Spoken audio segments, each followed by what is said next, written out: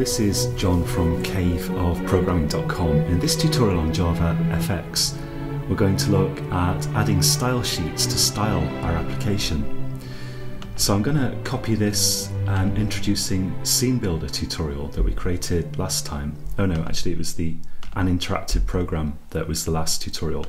So I'll copy that and paste it and let's call this introducing style sheets and I'll click OK.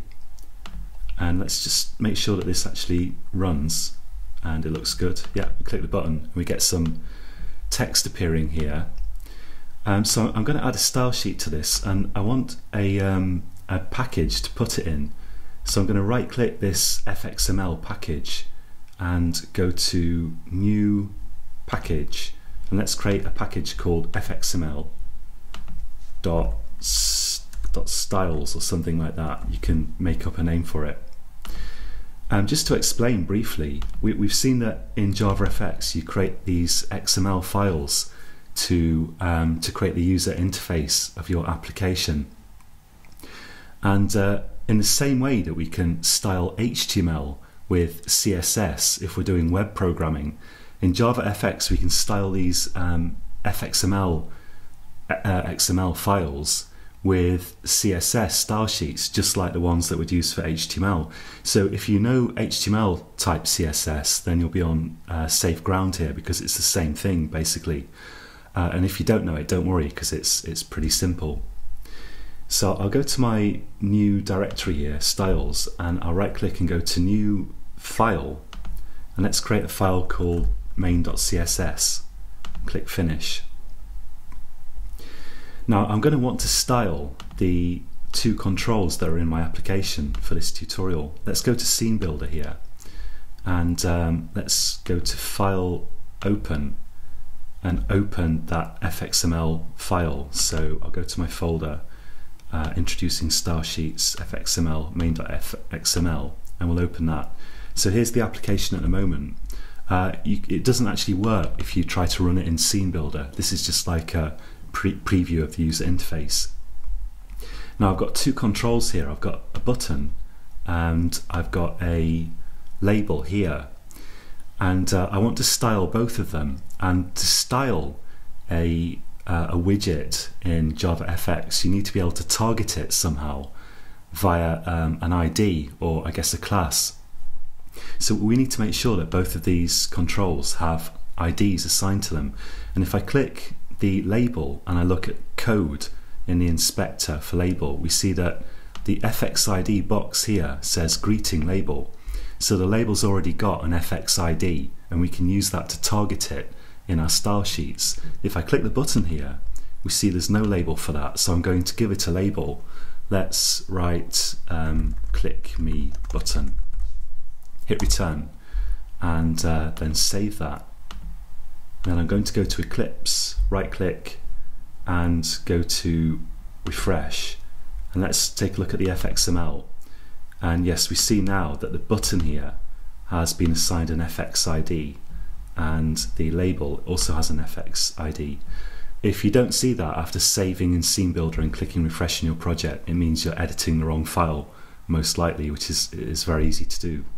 So let's go to main.css now and uh, since we want to target the button using its ID, we're going to start by typing a hash sign, or what we call in the UK a hash sign here. Maybe it's a pound sign in America. Um, and one of these hash signs uh, is, is a sign that what follows is going to be an ID. So I'm going to type here, um, what did I call it? Click, click me button, I think. And what this is, is it's a CSS selector. It's, uh, it's a little bit of code that's used to select one or more CSS elements, in this case just one. So that says it's an ID, the hash, and this is the actual FX ID. And after that we open a curly bracket and close the curly bracket down here. And then here we can place styles to style the button. If you do uh, control space, you should, your autocomplete should show you uh, all the kind of stuff that you can use, which is very handy. I'm going to set the hyphen fx hyphen font hyphen size, and a lot of these are, are the same as what you have in CSS for HTML. Uh, it's just that they have they have hyphen fx in front of them. So let's select font size here, and uh, I'll do Control Space again uh, to use autocomplete, and we'll select 0.0 em or m. I'm not sure how to pronounce that, uh, but the m unit uh, specifies like one em means the current font size, and 2 em would mean twice as big as the current font size. So let's save that. And if we run the application now, we should see that the text on the button is bigger and nothing's actually happened, uh, which means I've done something wrong. Ah, yeah, I forgot to load the style sheet, which will definitely help. Let's go to our application here. Um, so let's go to main app.java. And here, uh, where I create, create the scene, I'm going to say scene.get style sheets dot add and in there I'm going to specify the path to style sheet so it's in uh, a package fxml so I'll type forward slash to start from the root of the like application fxml forward slash styles because it's it's nested in this styles package in the fxml package forward slash main.css I've also seen people doing stuff like get resources, uh, get well stuff like get class dot get resources um, dot well let's let's get rid of that. You can see it up here actually. Get class dot get resource, and then the name of the style sheet, and then dot to external form, which returns a string. And I thought maybe that was um, maybe you need to do it that way to get the style sheet to load in a jar but just doing a bit of searching on the internet, I haven't tried, but uh, people seem to be saying that this way, which is far simpler, uh, is the way that actually works if you create a jar file. So I don't know, I'm just going to go with this syntax for the moment. Anyway, uh, that should add our style sheet. Let's get rid of these blank lines and run the application again. And now we see that the button font has been made bigger. Let's add a, a few more styles for fun. And, and, this is the sort of thing, it's not very complicated. And if you just um, look up stuff when you need it and uh, try typing it out, you soon kind of collect a little library of possible styles in your head.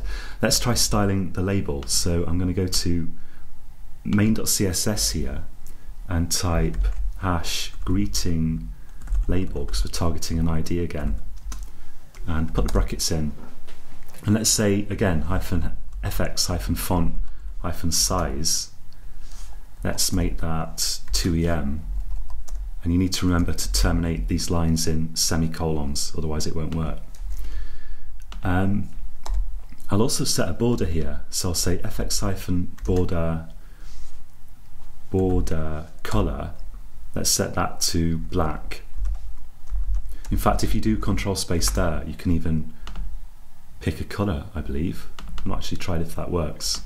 Oh yeah, it does work. Okay, that's nice. But what I'll do is, it's great actually, I'll just type black for the border colour. Or maybe grey, maybe grey. Let's try grey, there we go. And uh, let's say fx hyphen border hyphen um, width, let's set that to one pixel, one px. And I think that's it for the border. Oh, let's set the radius because that's that's kind of cool as well. I'll set the radius to four pixels so that we get um, a round border. This isn't going to really look very pretty. I'm just going to like demonstrate the sort of thing that you can do, but I'm not worrying too much about how it actually looks at the moment. And um, yeah, let's let's check that out actually. So I'll just run this program, and uh, there's there's the border around the label, and maybe we can make it a bit bigger. So I'll just select the label here because I want to show you something um, else that's a bit interesting. Let's save that and just check that again. Click me. Actually, that didn't. I didn't reload that. I'm always forgetting to do that. So let's reload it. Click run, and there we go. Now it's bigger. Uh, one thing you'll see is that the text is aligned to the left here, and I would have thought that would be the text hyphen align property, but apparently it's the fx hyphen align alignment property that sets that. So let's set that to center here with a semicolon there. and now if I run this it's in the center and we can also do stuff like um, we can drop a shadow. So let's let's just do that for fun. If you want to um, find a reference stock for that if you type into Google something like Java FX CSS reference you get this Java FX CSS reference guide. And if I search in there for drop shadow here's um, how we can do a drop shadow. Let's go ahead and set that. I'll let you look at that at your leisure. I'll type fx hyphen effect. And if I use control space it looks like there's not a whole lot of choice for effects but I'm sure there is a lot of really great stuff you can do. And uh, let's let's select drop shadow put the semicolon at the end there. And the first parameter here is the kind of type of algorithm you want to use to generate the shadow. We've got a choice and I will select three pass box. I don't really know what these are well Gaussian I sort of know but the rest I don't really know. But let's um, let's just use that. And uh, the next argument is the color of the shadow. I could just type black but I'd like to make a shadow that's a little bit transparent. So I'm going to use a function. Uh, I'm going to say RGBA that's red green blue and alpha. And I'll set red to zero blue to zero uh, red red to zero green to zero blue to zero and alpha to 0.7 and then that's going to be like slightly transparent. And the rest of the arguments uh, we see here we've got the radius of the shadow the spread like how how much this, the shadow spreads out and the um, the offset for x and y. So let's let's try whoops let's try something like uh, a radius of I don't know one pixel and spread of two pixels and x and y offsets of one and one. See how that looks? So I'll run this and now we've got a bit of shadow around the label and the text also you'll see has a shadow. Uh, in scene builder here if you go to I think I've forgotten actually where it is but somewhere we can add the style sheet here. Um, let's have a look yeah, preview scene, scene style sheets, add a style sheet, and we can browse to that directory where we created the style sheet, open it, and now it's styled. So if we do Control P to preview it, we can see the styles are applied. Of course, the functional, functionality doesn't work in Scene Builder, and as far as I know, you, you're kind of limited in um, the editing that you can do of style sheets in Scene Builder. So, but it's quite easy to build them by hand. Okay, I think that's it for this tutorial and I'm not sure what we'll get on to in the next tutorial but I'm thinking it might be a good idea to build like um, a little demo ap application that actually has some real functionality in it with like a menu and a toolbar and stuff like that so maybe we'll build like a little notepad application to start with or something apparently you can do 3d graphics in Java FX uh, at least if you use um, the kind of preview version of Java 8. So that might be interesting to get into, and uh, I can't promise, but we might take a look at that as well, uh, along with lot, lots of other things, I'm sure.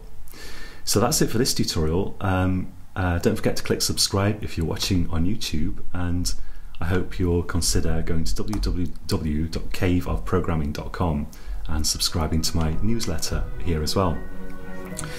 So um, until next time, happy coding.